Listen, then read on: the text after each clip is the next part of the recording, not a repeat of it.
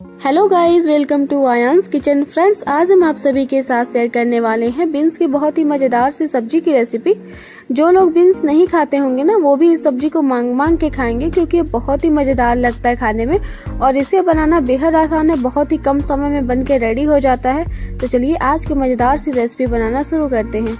Beans की सब्ज़ी बनाने के लिए हमने यहाँ पे एक कढ़ाई लिया है।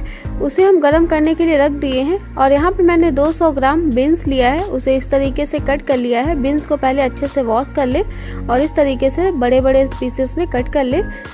आप चाहे तो इसे अपने अकॉर्डिंग थोड़ा सा छोटे छोटे पीसेस में भी कट कर सकते हैं। और यहाँ पे मैंने तीन मीडियम साइज़ के आलू को इस तरीके से कट कर लिए हैं। आप इसे भी अपने अकॉर्डिंग कट कर सकते हैं। बट मैंने इसे बिन्स के शेप में रखा है, जिसे देखने में काफ़ी अच्छा लगता है। और यहाँ पे मैंने लिया है दो हरी मिर्च इस तरीके से कट करके और पाँच से छह लहसुन की कलियों को बारीक काट के इसे साइड में रख देंगे। कढ़ाई भी हमारा गर्म हो गया है तो इसे थोड़ा सा हाथ ऊपर करके चेक कर ले, इससे पता चल जाता है। तो कढ़ाई हमें थोड़ा सा यहाँ पे गर्म करके ही यूज़ करना है। और यहाँ पे मैंने डाला तीन से चार टेबल स्पून मस्टर्ड ऑयल, यानी कि सरसों का तेल आप जो भी कुकिंग ऑयल यूज़ करते हैं, वो यहाँ पे डाल सकते हैं। और इसे थोड़ा सा हम फैला लेंगे अच्छे से। पहले हम तेल को गर्म होने देते हैं और गैस का फ्लेम मीडियम रखना है। तो जब तेल गर्म हो जाएगा, तब हम इसमें बाकी की चीज़ें डालेंगे। अच्छे से गर्म हो गया है, अब हम इसमें डालेंगे वन टीस्पून सरसों का दाना, यानी कि राई, और वन टीस्पून जीरा। इन दोनों को थोड़ा सा हम फ्राई होने देंगे, यानी चटकने देंगे।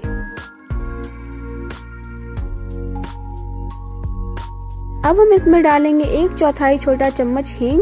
हींग से टेस्ट बहुत ही अच्छा आता है तो हींग डालना बिल्कुल ना भूलें। और जो हमने मिर्च और लहसुन काट के रखा था, वो भी इसमें डाल देंगे। गैस का फ्लेम हमें मीडियम ही रखना है, और इसे डालने के बाद इस तरीके से हम चला लेंगे। और अब हम इसमें डालेंगे हमारा कटा हुआ आलू तो सारे आलू को हम इसमें डाल देंगे। और आलू डालने के बाद हम इसे इस तरीके से चला लेंगे। तो इसे बीच बीच में चलाते रहना है। तो इस तरीके से चलाते रहें, जिससे आलू जो है वो जले नहीं। तो आलू को ऐसे ही चलाते हुए हमें मीडियम फ्लेम पे थोड़ी देर हमें इसे फ्राई करना है। तो चलिए इसे बीच बीच में ऐसे ही चलाते हुए हम इसे फ्राई कर लेते हैं।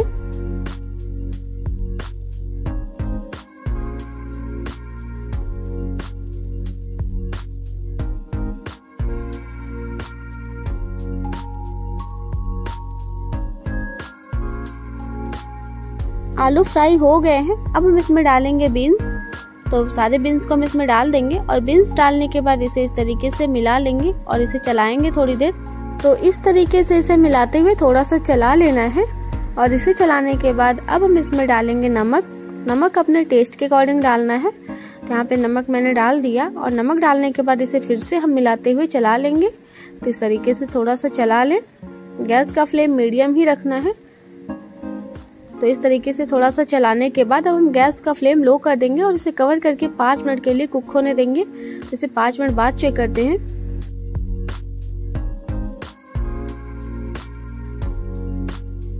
पाँच मिनट हो गया है। अब हम इसे चेक करेंगे।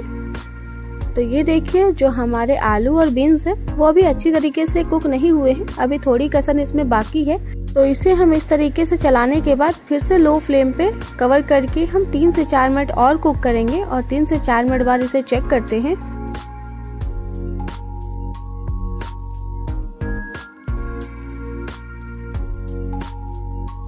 चार मिनट हो गए हैं। अब हम इसे फिर से चेक करेंगे। तो ये देखिए, जो हमारे आलू और बीन्स है, वो अच्छे से कुक हो गए हैं। बीन्स हमें बहुत ज़्यादा ओवर कुक नहीं करना है। इसमें थोड़ा सा क्रंचीनेस बना रहने देना है, तभी ये बीन्स की सब्ज़ी बहुत ही ज़्यादा टेस्टी लगती है। और आलू जो थोड़ा बहुत अभी नहीं कुक हुआ है, वो हम इसे जब अच्छे से फ्राई करेंगे, यानी भूनेंगे तब ये हो जाएँगे। तो बस हमें इतना ही कुक करना है, यानी कि एक बार पाँच मिनट और एक बार चार मिनट इसे लो फ्लेम पे कुक करना है। बाकी हमें फिर इसे कवर करके नहीं कुक करना है। तो इसे बीच बीच में ऐसे ही चलाते हुए हम इसे मीडियम फ्लेम पे अब हम फ्राई करेंगे, यानी कि भूनेंगे। तो अब मीडियम फ्लेम गैस का रहने देना है लो या हाई नहीं करना है। अब हम इसमें सारे मसाले डालेंगे।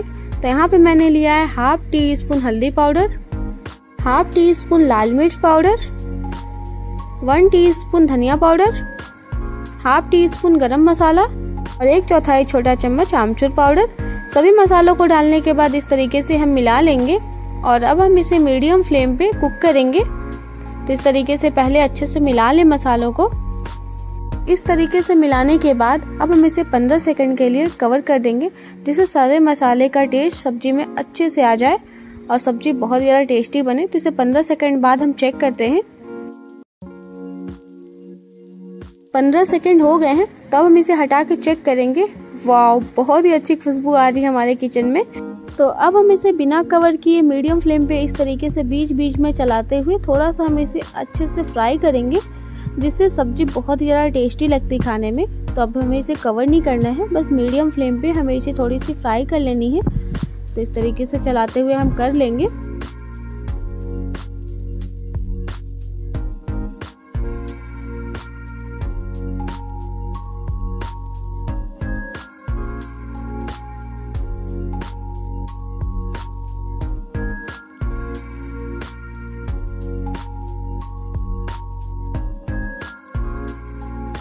देखिए फ्रेंड्स हमारी सब्ज़ी बन के रेडी है। आपने देखा इसे कितना आसान है बनाना और देखने में कितना अच्छा लग रहा है और खाने में तो पूछे मत, बहुत ही अमेजिंग लगता है खाने में। आप इसे एक बार बनाएँगे ना तो हर बार इसी तरीके से बनाएँगे क्योंकि आपके घर में सबको बेहद पसंद आएगा। तब हम इसे किसी दूसरे बर्तन में निकाल लेंगे। आप देख सकते हैं कितना प्यारा कलर आया है। टेस्ट तो बहुत ही अमेजिंग है। बहुत ही अच्छी खुशबू भी आ रही है। तो इस तरीके से आप इसे एक बार ज़रूर बनाइए। रोटी, पराठे या चावल किसी के साथ भी खाएँगे ना, बहुत ही मज़ेदार लगती है सब्ज़ी।